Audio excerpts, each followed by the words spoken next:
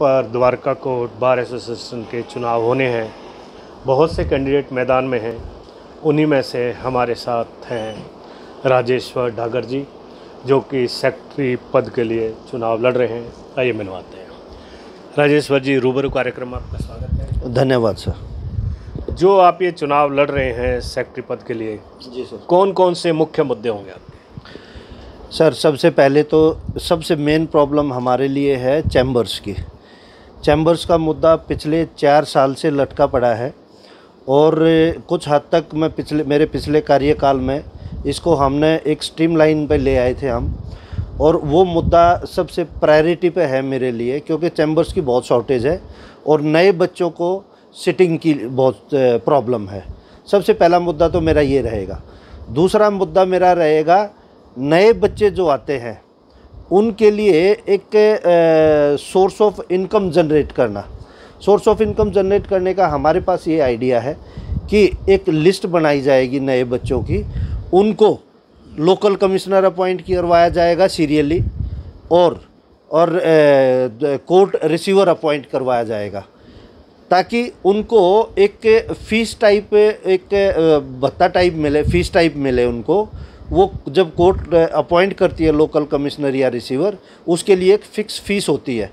तो इस चीज़ को इंश्योर करने के लिए कि जो हमारे नए बच्चे आते हैं, उनकी एक लिस्ट बने। वो कोई आर्बिट्रेरी अपॉइंटमेंट नहीं हो। क्योंकि कोर्ट आजकल क्या कर रही है, कोर्ट में ये देखा गया है कि जो जज का जानकार है, जो जिसका क्लोज है, उसको वो अपॉइंट करवा देते हैं। और हमारे जो नए बच्चे हैं, वो बेचारे भटकते रहते हैं। और एक हमारा है जुरिस्डिक्शन का। हमारी छोटी सी कोर्ट है और इसमें पुलिस जो पुलिस का जुरिस्डिक्शन है वो बहुत कम है। पहले बहुत बड़ा जुरिस्डिक्शन था, लेकिन वो किसी कारणवश यहाँ से चला गया।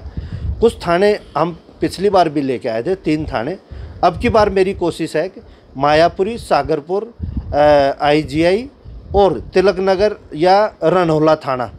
इन थानों को मुझे लेके आना, हमें लेके आना है हर हाल में अपनी एग्जीक्यूटिव कमेटी के साथ में। और जो एक और था कि हमारे यहाँ पर जो नए बच्चे आते हैं, उनकी, उनको बहुत सारे ऐसे बच्चे बड़े इंटेलिजेंट हैं।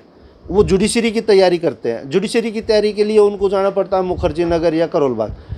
मेरा मेन उद्देश्य ये रहेगा कि जैसे ही हम अपना एग्जीक्यूटिव कमेटी चार्ज लेगी, उसके बाद नए बच्चों के लिए कोचिंग क्लास स्टार्ट करवानी है फ्री ऑफ़ कॉस्ट उससे बेनिफिट ये रहेगा जो बच्चे तैयारी करना चाहते हैं जुडिशियरी की या कॉम्पिटिटिव एग्ज़ाम्स की, वो तो कर ही रहे हैं।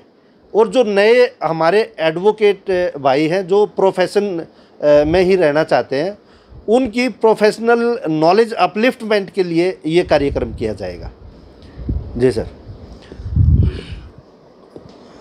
ये काफ़ी सारे मुद्दे हैं, इनमें से कौन सा मुद्दा ऐसा है जो प्राथमिकता से लिया जाए? चैम्बर का सबसे पहले और पार्किंग की बहुत ज़्यादा प्रॉब्लम है हमारे यहाँ पर। पार्किंग ये दो मुद्दे मेन प्रायोरिटी पे है हमारे। जी सर। बहुत खूब। हमारी शुभकामनाएँ आपके साथ हैं। Thank you sir cameraman Ashok के साथ VP Sharma I N S news thank you thank you